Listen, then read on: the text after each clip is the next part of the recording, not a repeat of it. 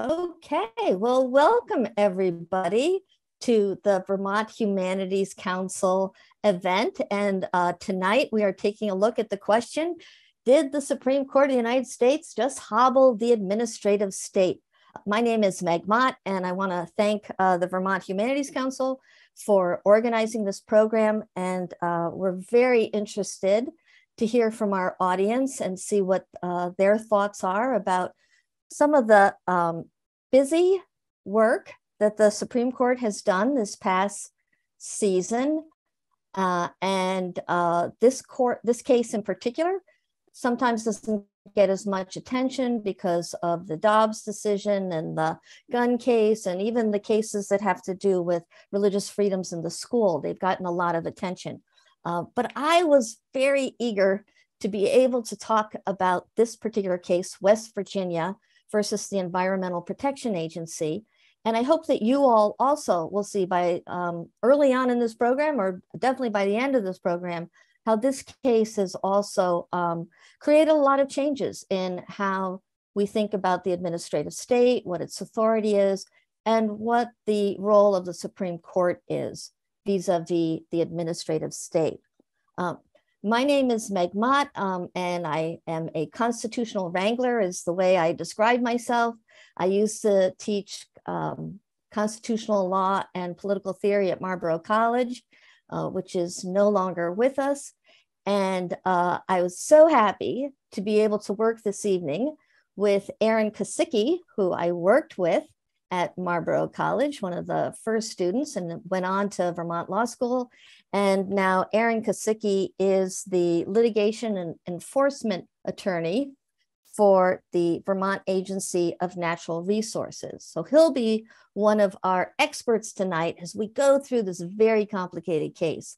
And Aaron was delighted to be able to get Steph Hoffman to join us um, to round out our discussion about what was at stake in this case, what the different arguments were, and how this pertains to uh, environmental law. Steph is a staff attorney at the Vermont Public Utility Commission. And so uh, many, many thanks to both our panelists. You guys are be doing a lot of work for us tonight to help us understand uh, the implications of this pretty um, important case West Virginia versus the Environmental Protection Agency. Uh, I call myself a constitutional wrangler because I am of the mind that we cannot engage in a constitutional democracy unless the citizens understand what the Constitution means. And that doesn't mean there's one way to understand it, which is why I call myself a wrangler. But my uh, job, my main job since Marlboro closed, has been to go around the state of Vermont, state of New Hampshire, other places in the Northeast, and talk about the Constitution with the help of lawyers. I'm not a lawyer. Um, I always had aspirations to be a lawyer. It was one of those things that um, was frowned upon in my family for some reason. Women could not make good lawyers. Uh, but I've also thought that it can't just be lawyers who understand the Constitution. All of us need to uh, be able to think through basic um, principles such as are outlined in the Bill of Rights, understand the principles behind separation of powers. So uh, since Marlboro closed, I've been so happy to be able to go around the state, sometimes in person, sometimes in Zoom, and talk about the Constitution. So here's just one little quote this is from FDR, who was also somebody who believed that the people should understand the Constitution. And that is that the Constitution is the people's document, not the lawyer's contract. However, we need lawyers, and that's why the whole jury system was set up uh, to help the people understand the technical aspects of the law. So that's what we're going to do tonight. We're going to wrangle with this case. Um, many of you who are watching this don't feel the fact that you don't have a JD precludes you from participating. It is the people's document. And um, Aaron and Steph are going to help us understand this case and all the implications that we have. So um, I want to get right into the case. West Virginia versus EPA. And um, uh, what I'm going to do first is just set up some very basic facts. And it's probably going to be the first little bit of learning curve.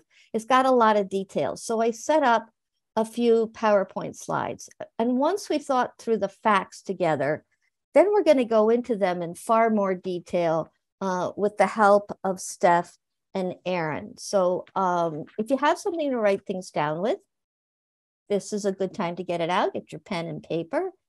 And let me share the first slide. Okay, so, um, and you may need to move things around on your screen in order to um, see the slide, but that's one of those things you can do now in Zoom.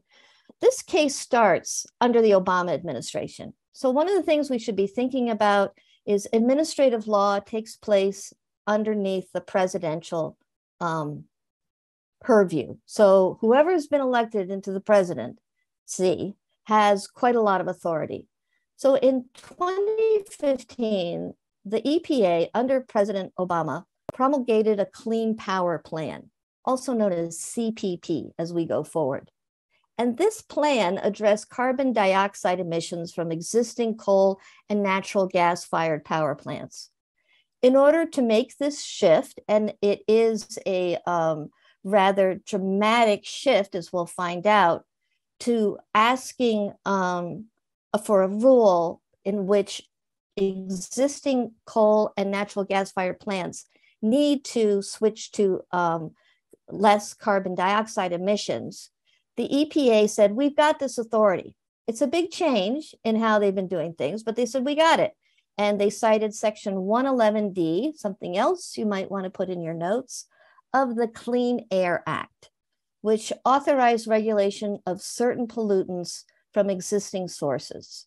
So if, the, if you can uh, move things around on your screen so you can see my slide, uh, you'll see that you've got cap, um, carbon pollutant, sorry, coal powered on one side, and then a little bit you can see moving to wind.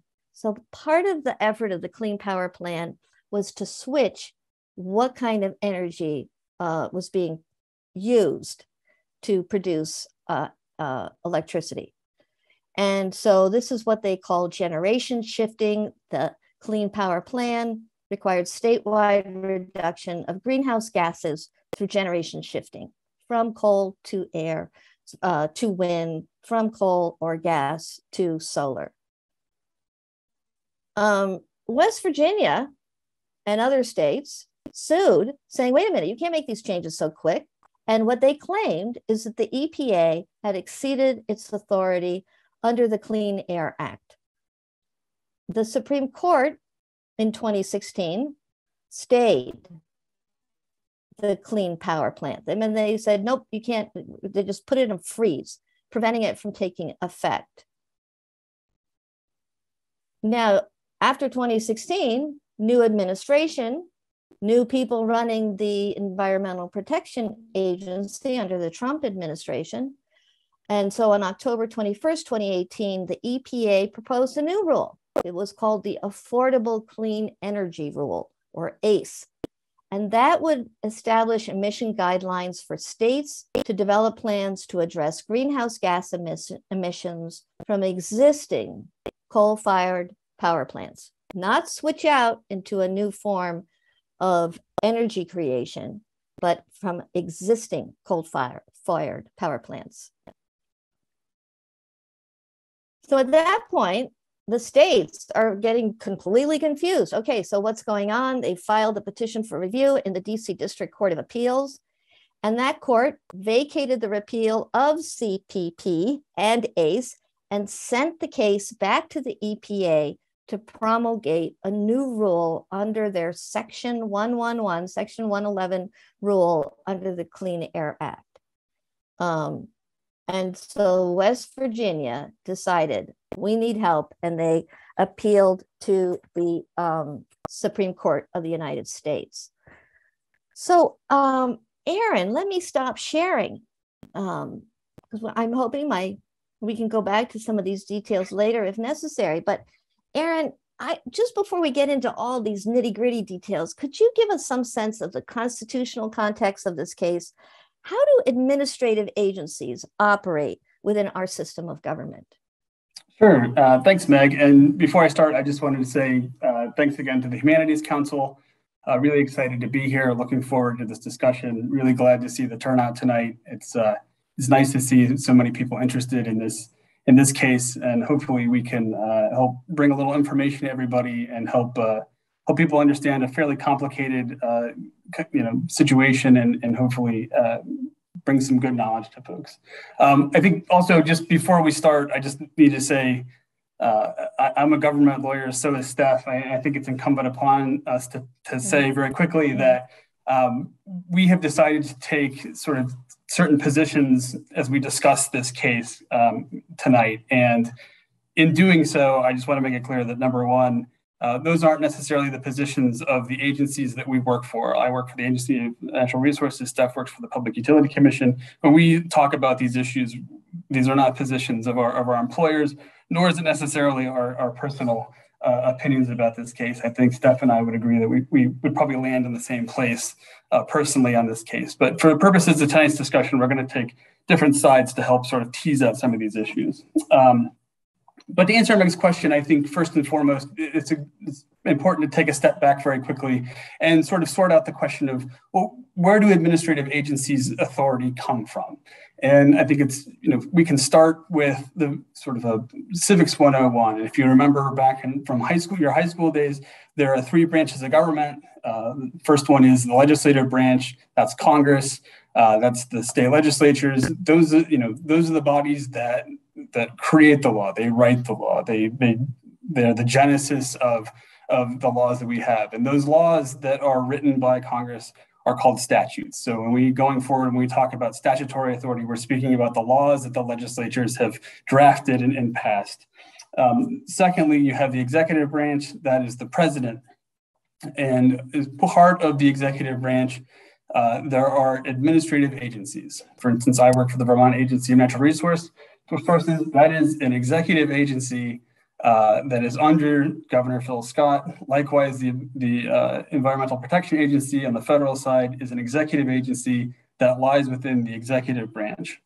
Um, so it, it is sort of an extension of the, of the president, so to speak. And those agencies and obviously the president are there to, to execute the laws that are passed by, uh, by Congress.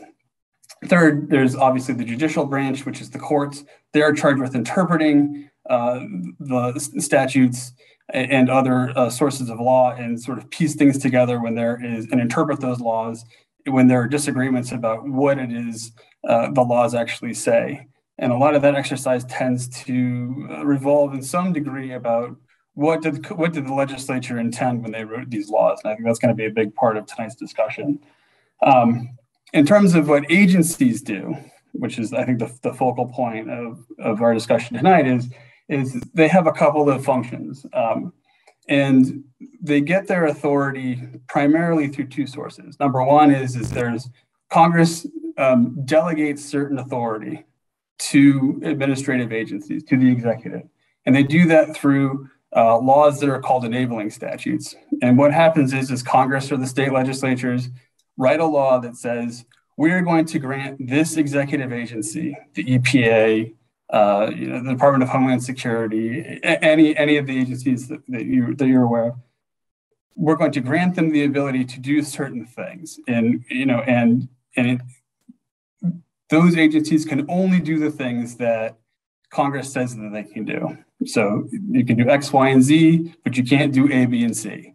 And the, usually the, the enabling statutes are pretty well, they're relatively clear about where agency authority is. The second piece where agency authority comes from is the Administrative Procedures Act. And that is a set of laws um, that's pretty well established that, that lays out a lot of detail in terms of how agencies have to go about doing certain things. And agencies do generally two things. One is that they adjudicate uh, they adjudicate issues that are within their expertise. Um, and in some ways, like they will issue permits. Um, if people need a permit, that the agency requires like a clean air permit or something like that, or an emissions permit, things like that. Um, and secondly, what we're going to talk about tonight is rulemaking. And through enabling statutes and through the, a process outlined in the Administrative Procedures Act, uh, agencies are able to promulgate rules. And in doing so, there's a pretty robust public participation process that's involved in that. It's a multi-year process. It, there's a lot of steps that they have to follow, but if they follow all those steps uh, in rulemaking, the rules that they come out with have the force of law. So it is they, they have similar force uh, uh statutes, but they are created by the administrative agencies and not by Congress, and that's part of the crux of this case. Um, and the, the clean power, and to be very clear, the Clean Power Plan, which is the focus of tonight's discussion, was uh, was a set of was a, was promulgated by rulemaking. It was not something that was written by the legislature by Congress. It was promulgated by uh, the EPA, and so I think that's a that's a key bit of context there. So, and, and do you just want to uh, just so we can clarify that that rulemaking is what follows this very specific procedure. That it's the procedure itself that makes it a, a actual rule as opposed to. I, I just want to make sure everybody understands that. Sure. There's there's there's two pieces to that. The first one is is does the enabling uh, statutes that get does the does has Congress given uh, a specific agency the the power to create rules with respect to an issue? And a lot of enabling statutes say just that. You can you can go into you can look at statutes that are written and legislatures will say we want this agency to write rules about this particular thing. Mm-hmm. So once they do that, they have the authority to do that, and then they they use the Administrative Procedures Act, which sort of goes through a fairly well-defined process that includes, again, a lot of public participation, outreach with various groups that may be impacted by the rule, and they go through a rigorous process in, in evaluating how to best structure a rule to achieve, you know, the ends that the that the, uh, the agency wants to achieve here. Um, and again, that is usually a, a multi-year, you know, a multi-year process from front to back, and there's a lot of uh, opportunities for engagement, public engagement, and so it has to. The rulemaking process has to adhere to those requirements of the APA in order for it to be uh, considered to be valid, generally speaking. Great, thank you. And um, Aaron, could you also just tell us? Um, before this case, the West Virginia versus EPA case, what were the because so much of this is set up through case law. What were some of the cases that you all used to understand the relationship of the authority of the agencies?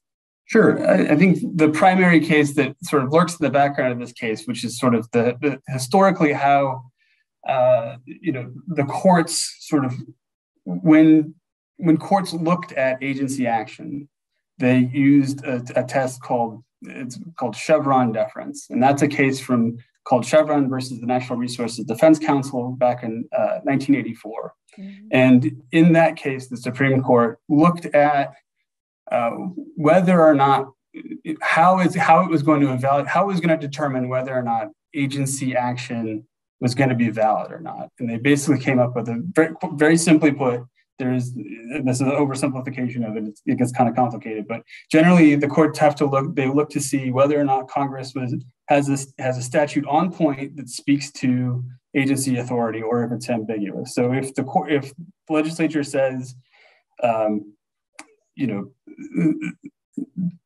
EPA, you know, if Congress says EPA has the ability to regulate this specific uh, pollutant in the air through these means, it is on point and that's the only thing they can do. But if it's sort of ambiguous, if it says something like, for example, uh, EPA can regulate pollutants, well, you know, there's a little, there's a bit of an ambiguity there, like what constitutes a, a, a pollutant. The agency can then take that sort of authority if there's some ambiguity about it, and provided that there there's a reasonable interpretation of the statute, if the agency interprets that statute reasonably to infer that it has the ability to uh, to act, the court will generally will generally defer to the agency when they do that. They will say, "All right, like it seems reasonable that you guys interpreted this statute, this your your enabling statute reasonably. We're gonna we're gonna defer to your judgment on this because it's a recognition that usually these agencies who are full of experts have a better understanding of this issue than, than even courts do. Um, there's some limitations that have been put on that over the years, but that's generally the gist of it. Um, and then the other case that I think is worth noting is, is Massachusetts versus EPA, and that's a 2007 case. That's a case where actually um, the, the court did not give EPA deference. Um, in 2003, uh, the, the EPA under the Bush administration said, uh, we don't have the authority to regulate tailpipe emissions, uh, you know, greenhouse gases from tail from from cars. Um, and so a bunch of states sued, about a dozen of them, Vermont included, and said, hey, you, you guys clearly have the authority to do this under the Clean Air Act. And um, in the end, the Supreme Court agreed and said, yes, the, the Clean Air Act uh, gives uh, the EPA the ability to regulate uh, greenhouse gases from uh, tailpipe emissions. Uh, so that's that's sort of the, the background in which the, the, the, very very general background from which this case sort of flows. And thanks, because those two cases we see gave the agency, specifically the EPA, a lot of discretion in in being able to interpret uh, exactly what they could do. Um, Steph, before we get to the details of the case, can you just give us some background on the Clean Air Act and the Clean Power Plan? Um, the Clean Air Act being the source for the EPA and the Clean Power Plan being that Obama era regulation. Yes, and thank you, Meg, and thank you, Jacob. Um, I just uh, really appreciate the opportunity to be here and have this conversation. I'll echo um, Aaron's sentiment that it's wonderful to have these conversations. Wonderful to be part of um, an event like this where we can have these conversations and a dialogue with members of the public. And I hope that we get to some interesting questions later and, and continue this conversation into the future. So thank you. Um, so the I think the important background here about the Clean Air Act and the Clean Power Plan rule um, is actually really informative to the way the court looks at this case. So these facts are sort of important background, but they're also critical to the way that they look at this decision by EPA as a, as a deviation from the status quo, as a major step um, in a new direction. And so there are three air pollution regulatory programs for stationary sources, such as power plants, things that are fixed emit, emission sources. The, first is the National Ambient Air Quality Standards, or NAAQS program. The second is the Hazardous Air Pollutants, or HAP program. And the third is the new source performance standards program. And that's where the rule that we're talking about in this case lives. Um, NAAQS and HAP identify specific pollutants for EPA regulation, sort of what Aaron gave as the example of, of the very specific delegation by Congress if you if you um, name the pollutant, let's say. And if the pollutant doesn't fall under NAAQS or HAP, then it can be regulated under the new source performance standard program. So that program is essentially a catch-all, if you will. But there is a bit of an argument about from the court about that. But I think for common understanding, that is what its intention was, is to be a sort of catch-all for non-specifically named pollutants. And that is where carbon dioxide is regulated in the context of this case because it was not subject to NAAQS or HAP.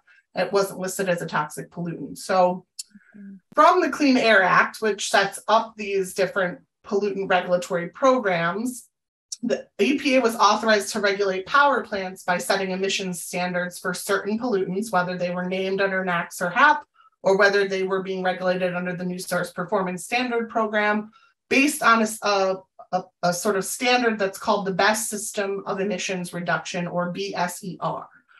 And according to the BSER, the EPA would set that standard, that best system, whatever the system might be, whether that's um, clean catch systems on a coal emissions plant or it's a larger system, which is what the dissent argues here was intended under the um, new source performance standard, whether that's systemic, right? It's across the entire system and you're trying to cause generation shifting, but you can implement that system for emission reduction. And so EPA set a BSER for existing coal plants based on three building blocks um, that we'll talk about the majority's characterization of a little bit later. But those blocks are first heat rate improvements, practices that coal plants could undertake to burn coal more efficiently. Those are kind of the more traditional at the plant um, sources of regulation on pollutants. The second is a shift in electricity production from existing coal fired power plants to natural gas fired plants. And the third is a shift from both coal and natural gas fired plants to low or zero carbon generating capacity, primarily wind and solar, what Meg was talking about in that image and, and demonstrating in that image. Um, under the sort of CPP, this shift would take place um, through a variety of mechanisms. One would be to reduce the plant's own production of electricity. So that's tamping down on coal fired plant production generation. Mm-hmm. Another would be to build a new ga- gas plant, wind farm, or solar install- installation, or invest in someone else's existing facility of those types and increase generation there. And third, it was to purchase emission allowances or credits as part of the cap and trade regime. So that's the sort of uh, we're generating dirty power over here and they're generating clean power over there. And there's a certain credit assigned to that clean power's generation. And essentially, you can do your dirty generation so long as you purchase enough of those clean credits to make up for the bad pollutants you're putting into the into the air. The purpose of this shifting that was implemented through the CPP was to achieve a, a sector-wide shift from coal to natural gas and renewables. As Meg mentioned, there was a, if you will, a policy intention there. And EPA then had to translate the BSER into an actual operational emissions limit. And it settled on what it deemed a reasonable amount of shift based on modeling. And the modeling took into account how much more electricity, natural gas, and renewable sources could supply without causing, first, an undue cost increase, or two, a reduction of overall power supply. So basically, the cost benefit analysis is being done there says how much more power can we get from renewables and from natural gas across the generation grid all over the United States um, reasonably within a specific time frame through the expansion of those generation sources and the tamping down on coal sources without it costing the coal plants investment in these other technologies et cetera that are way beyond a reasonable level but also without decreasing our power supply to a point where we cannot supply the grid with enough power over the course of that period of time. And they ended up setting a goal for 2030 to reduce um, natural uh, national electricity generation from to 27% from 2014's 38% level. So basically an 11% reduction over an approximately 16 year period. So that's sort of the background of what the CPP was attempting to do and how it did it and where its basis came from in Section 11 of the Clean Air Act.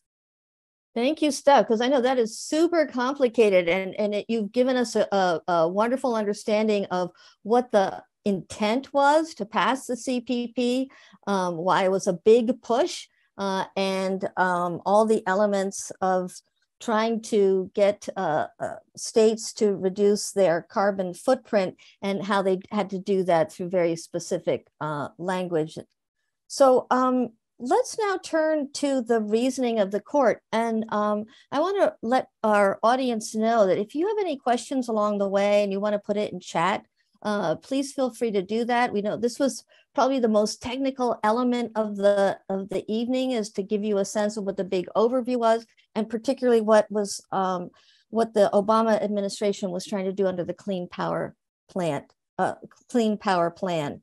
So, Steph, could you start uh, by giving us a sense of what the court's argument was in this case?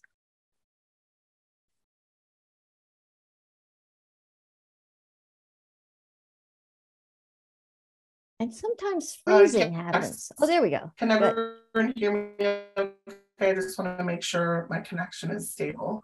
Yeah it's a little it's feeling a little uh, go for it. Let's see if we can go for it um, and if we have any trouble then um, we'll go to aaron and then go back to you. Okay i think it's a little bit better now. So just interrupt me shout out if i'm i'm not clear. Okay. So the majority uh, written by Chief Justice Roberts in West Virginia versus EPA stated that the Clean Air Act did not provide EPA with the power to pass the Clean Power Plan rule because essentially it engages in an electric generation shifting approach to the production of energy in the United States, which is outside of EPA's authority to make that decision. So, put simply, the CPP goes beyond EPA's rulemaking authority. And I'll link it back a little bit to what Aaron was talking about earlier the delegation from Congress, the, the um, enabling legislation, enabling statute that gave them the authority to act in this area at all, which is um, what we were just talking about and where, where the Clean Air Act goes to, didn't give EPA the authority to specifically promulgate a rule to do generation shifting from coal to other sources of power. The majority gets to that conclusion um, through a couple of steps. First of all, according to the majority, for over 50 years, EPA set standards for air pollutant emissions based on measures that reduce pollution at the plant, forcing individual plants to operate more cleanly. That is that sort of first traditional heat rate improvements category that I was talking about a moment ago, where you implement a practice at the plant to change the emissions from that facility, but it wasn't about what that facility is doing in relation to the rest of the grid. Um, the majority then goes on to say that the 2015 CPP rule was a massive departure under which existing coal fired power plants must reduce their production of electricity and essentially subsidize generation by natural gas, wind, and solar sources. And this was an improper use of the new source performance standard program, which they also said was only used a very few times, a very few times historically by EPA to promulgate rules in this area, and thus such a departure deviation was not appropriate use for that rule. Um, the majority really is getting to a, a, one central issue in making that determination. That's whether Congress, in fact, meant to give power to the EPA as EPA was using it in this case. For the first time, the Supreme Court explicitly invoked the major questions doctrine and it, the term major questions doctrine to strike down an agency rule. Well, what does that doctrine mean? What does it say? There's a lot of debate in this case about that, but the way the majority, I think, best said it was there are extraordinary cases that call for a different approach, cases in which the history and the breadth of the authority that the agency has asserted and the economic and political significance of that assertion provide a reason to hesitate before concluding that Congress meant to confer such authority. That's the, the quote. Essentially, that means that courts expect Congress to speak clearly and definitively if Congress wishes to assign to an agency decisions of vast economic, political, social, etc. significance. And why is that? Because agencies, according to the majority, have only those powers given to them by Congress explicitly, and Congress intends to reserve for itself the right to make major policy decisions and not leave those decisions to agencies to make, because that would be agency policymaking, which is prohibited by things like the separation of powers that Aaron was explaining earlier. The policymakers, the legislators, are the legislative branch of government and not the executive branch. According to the majority, this doctrine, the major questions doctrine, arises when agencies assert highly consequential power beyond what Congress could reasonably be understood to have granted to them. So, in summary, if Congress wants to shift power production away from coal fired plants to natural gas and renewables, it will pass legislation saying explicitly that that's its intent. It will authorize EPA to make rules to carry out that specific policy, and then you could have something like CPP put into place. But without that authorizing legislation that's explicit on this major policy determination, EPA can't go out on a limb and do that policy legislating on its own. So that's what the majority concludes. I'll just give a quick nod to Gorsuch's concurrence, which is um, a very high level analysis, much akin to what Aaron gave us just a few moments ago about the importance of separation of powers, and also a concept called federalism, which says that at the federal level, a lot of these rules are sort of um, more strict, more strict about the separation of the different government entities and their authority is limited, whereas the delegation the states to make decisions about policy, those are the laboratories for experimentation and for testing out theories about whether we should do these types of limitations on different power plants.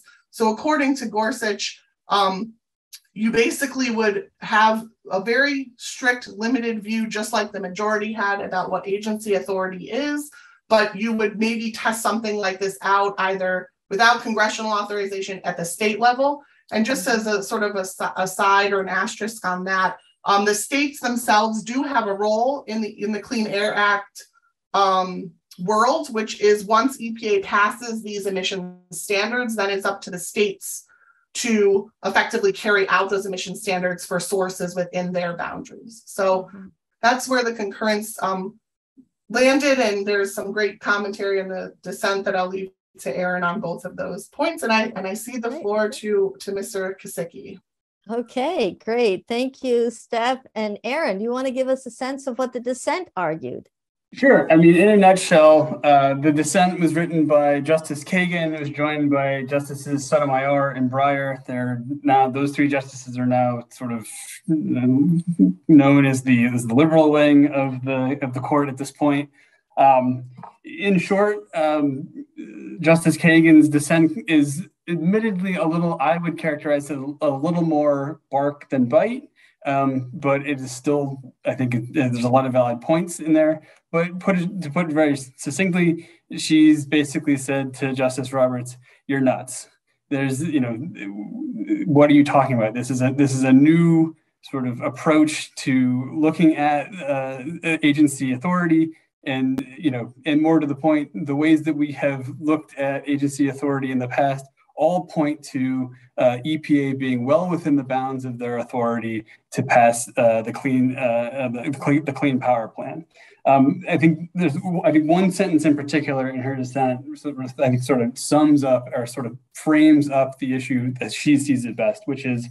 Uh, quote, although the majority offers a flurry of complaints that come down in the end to this, the Clean Power Plan is a big new thing issued under a minor statutory provision. So again, I think as, as Steph was saying, is there's two pieces to this. One is the she claims that the majority is saying, oh, the Clean Power Plan is just too big and has too many important, you know, issues that are sort of wrapped around it to allow for an agency to, to, you know, issue a rule related to it when there's big, you know, complicated impacts that are at play here. And secondly, uh, section 111 that Meg and, and Steph have talked about earlier, it's this really minor, issue minor, uh, you know, piece of the Clean Air Act that's never been used. And so why would we possibly rely on that little piece, uh, that little statute to sort of be the underpinning of such a large uh, rulemaking? So I'll break it into those two pieces. I think first on the sort of, this is not, a, you know, the, the idea that it's not, Kagan seems to suggest that, that Section 111 isn't a minor statutory provision. And she says basically, you know, Congress broadly authorized the EPA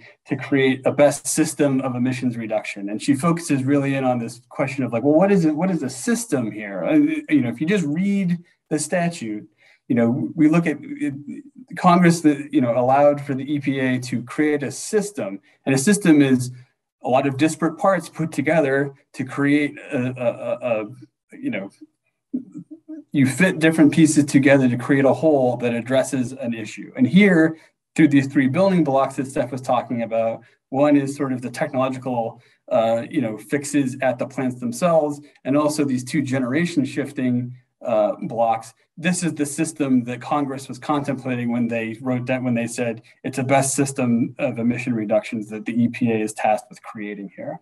Um, she also notes that there's some pretty reasonable constraints on sort of EPA's ability to promulgate this rule. Namely, the Clean Air Act requires that uh, the agency in its rulemaking has to take into consideration the costs associated um, with the rulemaking and also uh, sort of other non-air impact, uh, non-air impacts.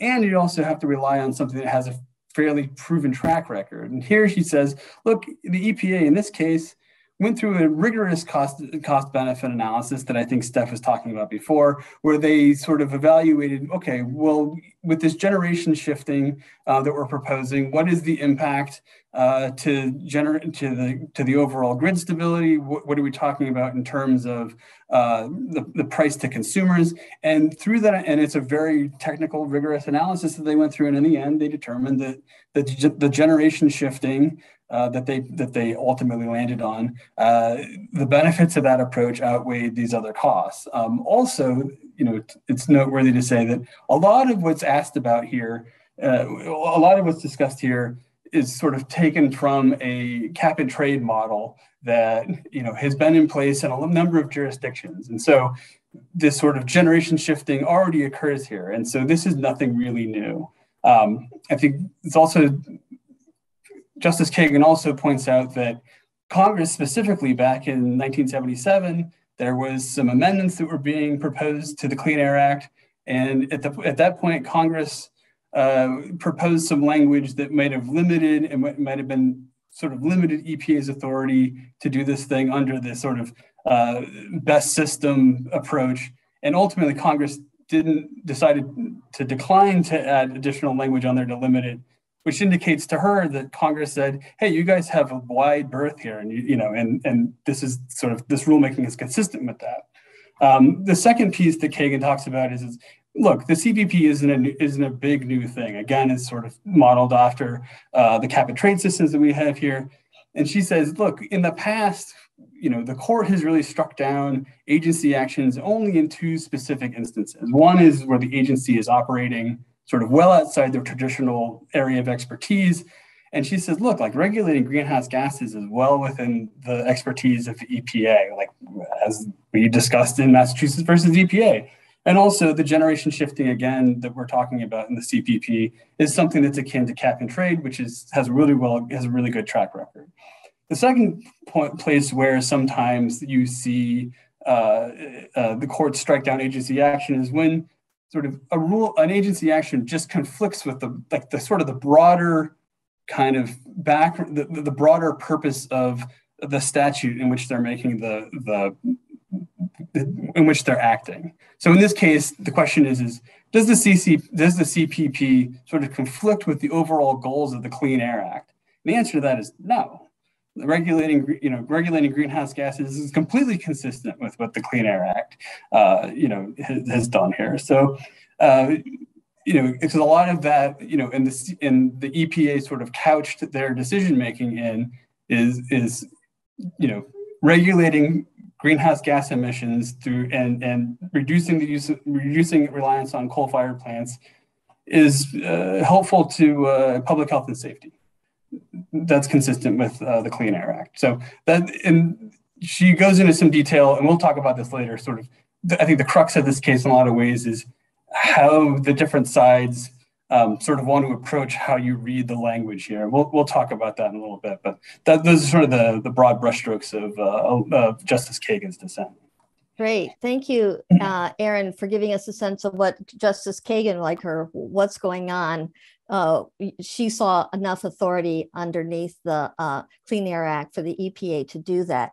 Um, so we have um, uh, one question that's come in from the audience, and I'm I'm going to just take that first, and then I've got a couple questions for you. Um, for uh, for a question from Annette, Vermont's Public Utility Commission contains as part of its mission guiding the development of state utility policies. Does this language extend policy making to the PUC? And if so, how, if so, how, and are there any limits? So here's a question along the same kind of concerns. What are the limits on the uh, administrative agencies in the state of Vermont? So um, Steph, do you want to take Annette's question?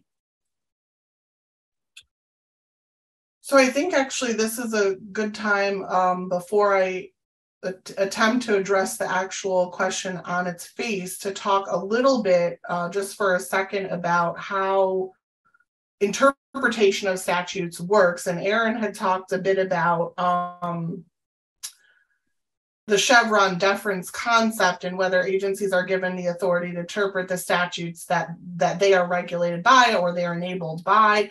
And so just for a second i'd like to talk about how that works. So when you have a question of statutory interpretation or when you have a question of delegated authority to an agency through a statute, um, you have to look at the plain language of that statute to discover its original intent. And to discover that intent, courts who are often the ones doing that interpreting look to the words of the statute and apply their usual and ordinary meanings. If, however, looking at the language of the statute, and Aaron gave the example of the pollutants generally, um, you know, EPA is charged with regulating pollutants, then if that meaning remains unclear, courts will then attempt to understand the intent of the legislature by looking at things like legislative history or other related sources. And courts will steer clear of any interpretation that will, let's say, for example, result in an absurd result that the legislature did not intend. They use various rules, which are called canons of statutory interpretation, to drill down on what that language might mean. And some of those rules, just some examples, would be um, statutes should be internally consistent. Um, or when the legislature enumerates an exception to a rule, one can infer that there are no other exceptions to the rule. Or, for example, um, where legislation and case law conflict, the courts will presume that the legislation takes precedent, or the court may look at things like the common usage of a word, other cases, other dictionary definitions, parallel reasoning, punctuation, grammar. They use all these tools to drill down and interpret what a statement um, of the legislature means when we're assessing it, in this case, 50 years later, to ascertain what the original intent, in the case of West Virginia versus EP, not in the case of Ms. Smith's question.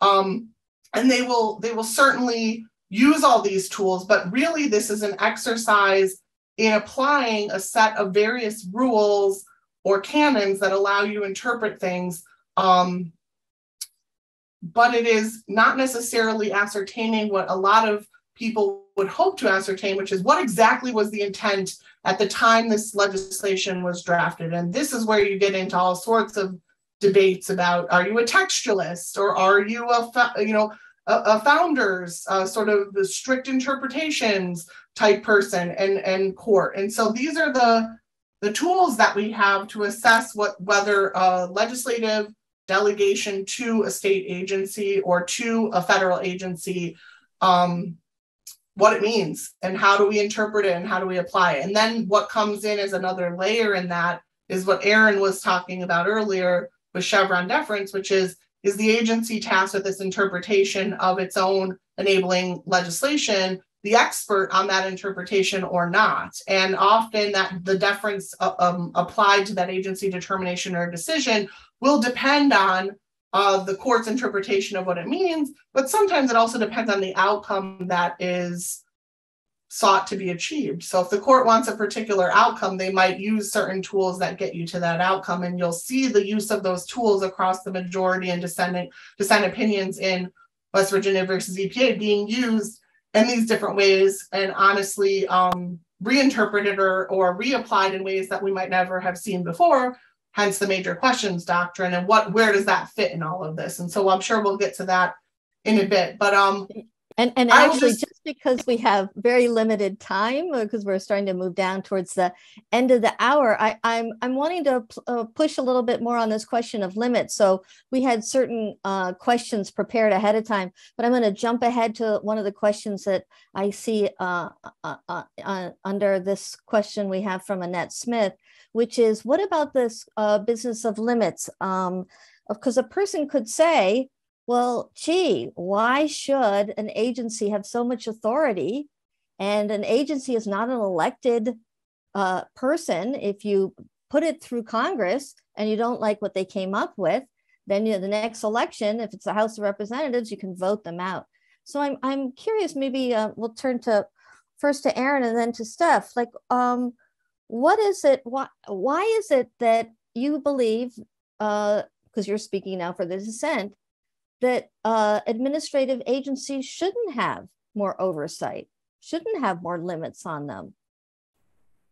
Uh, yeah, I mean, I think that's a good question, and that's, I mean, I think that's a, a, lot of it is the core of what this case, you know, sort of revolves around, and you know, again, I think fundamentally there is a philosophical argument being made by the majority here that revolves around sort of Gorsuch, Justice Gorsuch's discussion about the separation of powers. And if, if you really want to ground your understanding of how administrative agencies should work, you want to live in that world because it is it is a you know it is one where you can sort of pontificate about what the framers thought and how this grand structure of uh, you know American government you know has these very clear uh, clean lines and we should strive to achieve you know the separation and be mindful of that in everything that we do. Well, that's not how the world works, you know, today.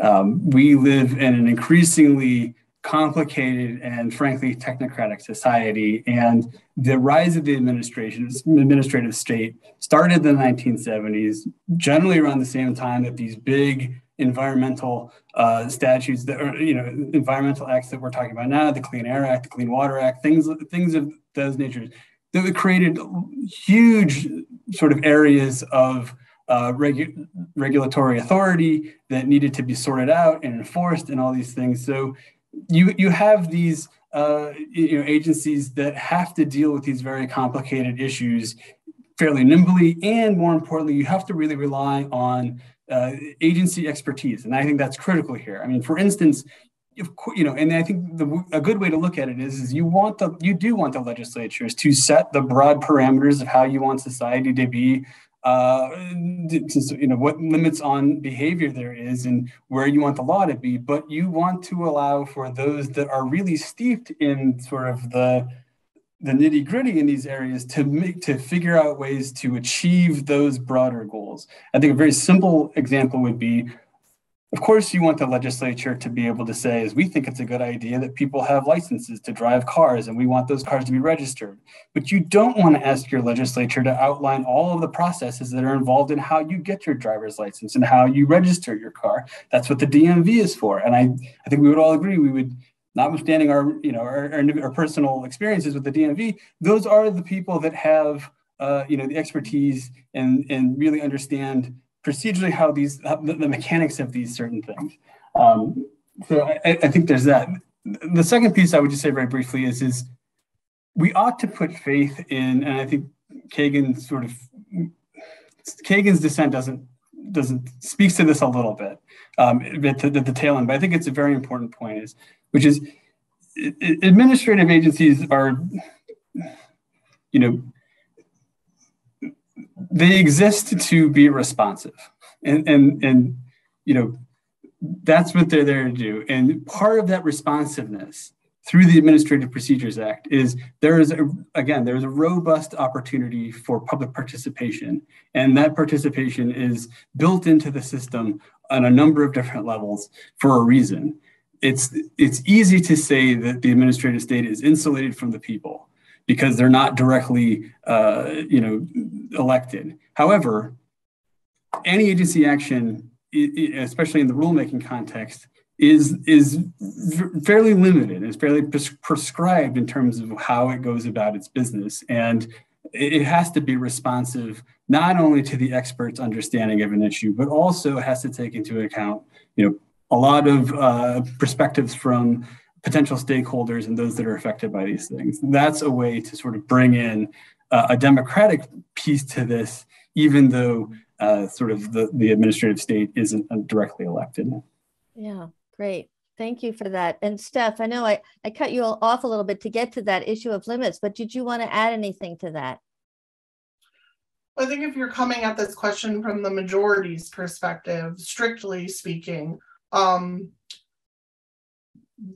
the the notion that an administrative agency would be limited or constrained in various ways is important because you want to impose those limits in order to ensure that agency action is there that there is accountability. And that accountability from the majority's perspective comes from uh, elected representatives of the people who are acting in congress. And that's a, it's appropriate to constrain their their actions based on those separation of powers principles that Aaron began speaking about at the at the beginning of his response to this question. If you do not have um, sort of checks on agency authority so that you're limiting the areas that they can act in, then the policy making that they're doing in those areas um, sort of doesn't get addressed unless and until a court decides that their action was unconstitutional or the Congress legislates around the action that's been taken by the agency. And I think we're going to talk about that in the context of this case a little bit as well. But the invitation from the majority is one that says, hey, yeah, that's exactly what we want. In major areas of policy, let's let Congress make the decision unless and until they make it, the agencies don't, don't get to do it in advance.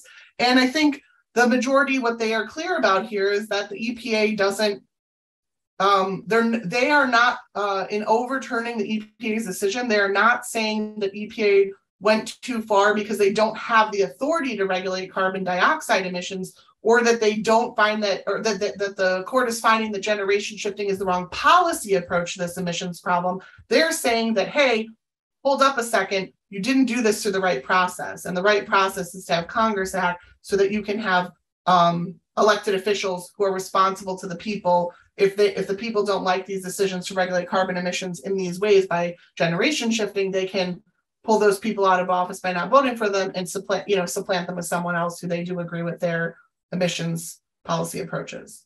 Great. Thank you. Uh, another question that's come in the chat is uh, somewhat of a cynical question, but these are also important for us to think about. Don't you all think that the majority didn't want to hurt coal fired plants? And so the majority came into this, uh, Laura Block is suggesting, with a, a, an end already in sight. They did not want to um, hurt coal fired plants. Um, any thoughts on that? Um, Steph, do you want to take that first? I hinted at this earlier that often in statutory interpretation, you can have an end in sight and you can uh, twist and manipulate some of the tools to, to sort of get to that end.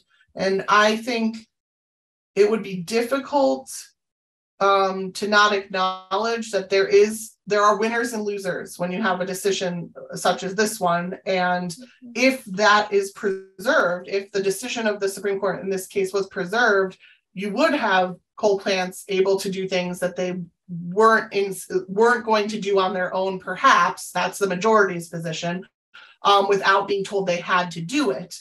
Now, history proves out a different sort of uh, tale here, but that is the majority's position that we need to have things happen from the right um, from the right source. But I think you do have a situation here where I think a cynic would definitely look at the court as having cho- picked sides, picked a winner, and mm-hmm. declared that winner and hope to preserve that winner. However, there are definitely um, different camps on how insulated the Supreme Court is, and there's a lot to be said about that. So I'm I'm gonna leave that all to everyone's sort of knowledge and imagination about uh, how we look at the court and the members of the court and the process for appointing the members of the court. But I think it's impossible as a, a body of humans to make those decisions completely insulated from all influences and um, and what the potential consequences of those decisions will be. Right. Thank you. Uh, did you want to add anything? Yeah, that? and I think this is a little bit outside of the kind of perspective that, that, that Steph just brought to this question. But I, I, do, I mean, I think that it's reasonable to question whether or not this was a decision that was uh, made with a particular uh, end in mind. But I think it's important to note here, and I won't go into the details of this. This was a really unique case in terms of how the court, how it got to the court, and in very short shrift. Uh, the Clean Power Plan never went into effect. It never became law. Um, mm-hmm. so the court was sort of evaluating this this delegation of authority kind of as an academic exercise. There was no real impact to it. But as Justice Kagan's dissent noted, the, the Clean Power Plan was sort of obsolete anyway because market forces have already moved uh, power generation away from coal. In fact, more so than even what the Clean Power Plan contemplated. So so power coal plants, and to put it differently, coal plants are already being hurt by market forces. This is not the issue. What I think uh, Kagan sort of is worried about, and I think I am a little bit too, is, is I don't think that this decision is about the EPA in this particular context. This is about a court outlining a new standard uh, via the uh, major questions doctrine as a way to um, sort of neuter other administrative agencies in other areas that we haven't seen yet. So just as a kind of an epilogue to this,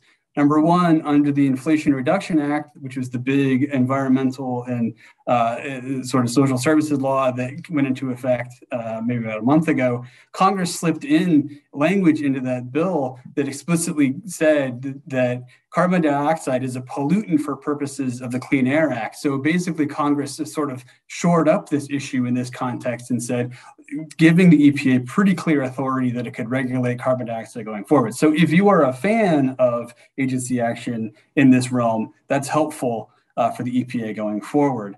Um, but on the flip side, you know, you already see um, some legal experts um, sort of looking at other agency actions and applying the major questions doctrine to sort of undermine, potentially undermine the legitimacy of that action. For instance, when President Biden issued um, his executive action through the uh, uh, agency, uh, the education uh, mm-hmm. department of uh, student loan forgiveness, there has been some chatter uh, among some uh, legal circles that question whether or not the major questions doctrine will be applied to this and whether it will ultimately, you know, that action will be struck down because there is not a clear delegation from Congress as to whether or not the president can provide uh, student debt relief sort of carte blanche. um, so, you know, it's, it's, it's creeping into other areas already. So. Yeah.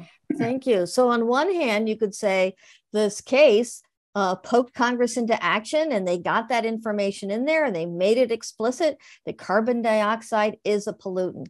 Uh, but the other hand is this whole question of what is the court's relationship now to the um, administrative agencies and and uh, maybe that's something you all want to just talk a little bit about i know we for a little bit over the hour, but this feels like, um, especially since both of you are involved in administrative law, what are some of the um, challenges now for going forward, knowing that there's very different perspectives on the relationship between the Supreme Court and administrative agencies?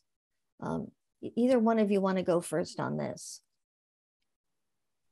I'll be happy to jump in. So, I think uh, at its core, the major questions doctrine really flips on its head the way statutory interpretation was conducted all time before it. Um, this is sort of an off ramp from the, the, the paradigm that I discussed a little while ago, where you take something that is not plain on its face, it is ambiguous, and you look to these sources and you apply these rules. And um, the dissent in this case talks at length about this issue. This, this major questions concept seems, at least in concept, to be an opportunity for the courts to say, whoa, whoa, whoa, you exceeded your authority, EPA or any administrative agency. Mm-hmm.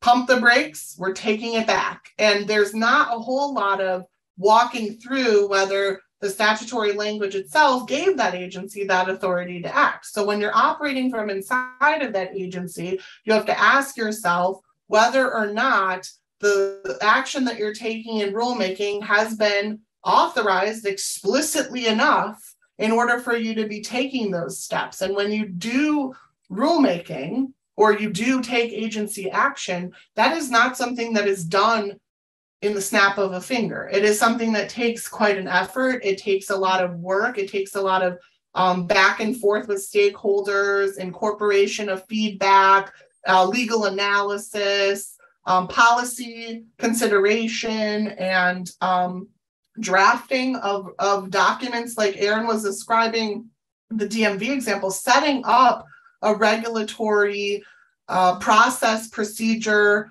forms, mechanisms, personnel, et cetera. All of that takes time and money and effort and training. And so when you're building that regulatory framework, as I view each agency determination or each agency rulemaking is sort of this lattice of uh, that strengthens and enforces and builds out that agency's operational um, work that process now is called into question because if the only call that's going to be made by the court as referee is whoa whoa whoa you overstepped big big policy implications lots of what agencies do every day has big policy implications, impacts economic, social, and political avenues of thought. And there is an entire line of thinking that is appropriate to place some of that political decision making in the agency's hands. We've talked a lot about, at least at a high level, Congress being an appropriate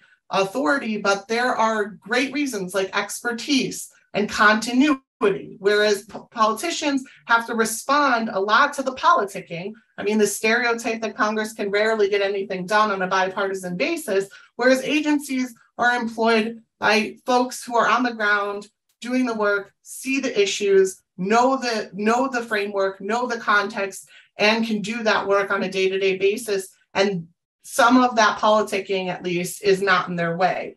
If mm-hmm. all of those things that inform the agency carrying out and effectuating laws so that they're operational they can every person's day-to-day experience with that agency is impacted by those agencies setting up that that paradigm that process i think really if not screeches to a halt is done as walking on eggshells now because you're never sure when that that carpet's going to be pulled out from from under you and you're going to be starting over and to aaron's point procedurally the posture of this case is almost uh, mind blowing from a legal geek's perspective.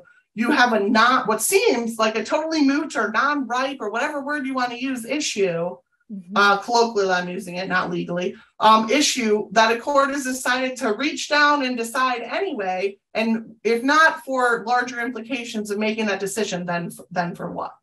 Um, and so it's a it's a very strange procedural moment. Often courts in the past would have said, "No, thank you," we will wait till another day to make a decision about this issue. And that was considered to be the right procedural decision if you're looking at sort of federal courts and how they practice and whether folks have standing and whether the issue is ripe or, or moot um, and et cetera, et cetera. So this is a case where they were reaching for an opportunity, I think, to make a decision that could give them the, uh, this doctrine that can then be used in sort of a, a way that we have not seen before to tamp down on agency regulatory authority. Yeah, thank you, Steph. And, and you're getting at this uh, understanding of it's another way of looking at Laura Block's question that what was the end game? Was it really about coal power plants? No, it, could be read as uh, really changing the relationship uh, between the courts, federal courts, and the administrative agencies. Um, Aaron, I'm going to give you the last word as we wrap up. I'll, we'll have a couple more moments for questions if somebody puts something in the chat. Otherwise, we'll start to bring this to a conclusion. Aaron. Sure. I just wanted to, I think, dovetail a little bit off of what uh, Steph was saying about this. I, I think Steph brought up a, a, an issue that um, can't really be under, you know, can't be overstated, which is continuity is is really critical to the functioning of government, you know, sort of across the board. And um, you know, so in Kagan's dissent, she part of her dissent, she discussed, she says, she has an argument where she says, look, Congress has delegated authority to agencies for a long, long time for really big reasons, for and to address really big issues, you know, for a long time. And this should be no different. And she basically outlines two reasons for why they do that. Number one is she says, you know, Congress understands that it can't know everything about everything. So it doesn't have the sort of expertise to, to really dig into these things. And that's that I think everybody understands that. But the other piece I think is just as important, which he says, Congress can't sort of understand how to legislate a regulatory program across time. So another way to look at that is, is these, you know, regulatory programs evolve as facts on the ground change, as new issues arise, and the agencies are really well positioned to sort of respond to those things. And um, you know, and it's in in sort of agency action creates sort of a slow moving consistency across political um, you know administrations historically that is starting to sort of be disrupted a little bit as we see more and more sort of extremes with legislatures and executive agencies you're starting to see these swings but I think at its core, you still see some stabilization because you have agencies, you know, staffed by a bunch of experts who understand these issues and know sort of have a, have kind of a best practices approach in mind. What my my fear is, and I think part of Kagan's dissent sort of speaks to this implicitly, which is is if what Gorsuch is really saying is is that you know we want to move to a sort of a more state-based you know states are the laboratories. They should be doing this. There is a lot of interaction between the states and the federal government especially with respect to these environmental issues. For instance state of vermont you know my agency has a lot of people in that are involved in enforcing there's a whole set of rules on the state level that enforce the clean air act and make sure that that works for vermont. I think what this decision may end up doing because of i think you know, Steph was talking about the fear of having the rug pulled out from underneath them. You may see more action. You know, you might see Congress on the federal level sort of crafting legislation that gives more sort of avenues for the states to really do the, the heavy lifting on the administrative front. And you end up with different states with wildly different approaches to the trying to solve the same problem. So you see sort of a more I, I don't like to use this word, but I think it's apt here, sort of a balkanization of administrative, you know, action to try to solve, you know, problems that affect everyone in the nation. I mean, I think the, the, the prime example we see a lot of times is California leads the way in environmental regulations across the board.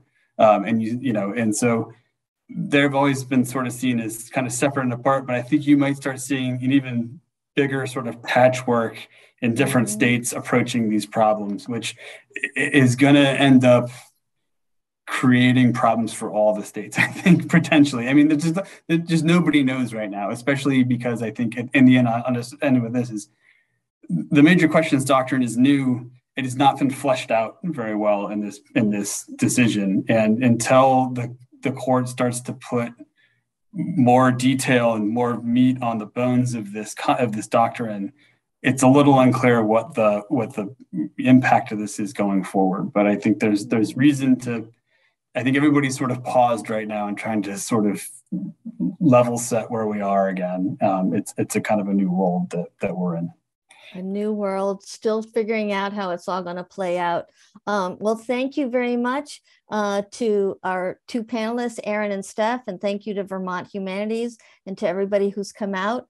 Uh, I highly recommend that you read this decision. It's worth taking a look at. I know it hasn't gotten as much attention as some of the other high profile decisions, but I hope you know uh, or figured out after listening to both Aaron and Steph just how profound this decision is for administrative agencies going forward.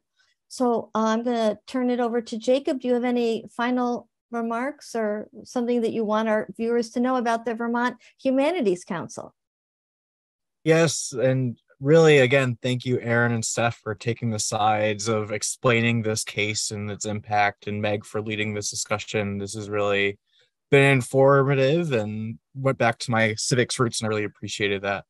Um, and thank you again, everyone, for joining. We have some events coming up. I'll put a link in the chat for our fall festival program, Where We Land, which takes a lot of themes from our Vermont Reads uh, selection, The Most Costly Journey, uh, through storytelling and migrant journeys, um, through statewide programming for you all throughout October. Um, we look forward to seeing you there, especially if you want to continue discussions like this one we had tonight.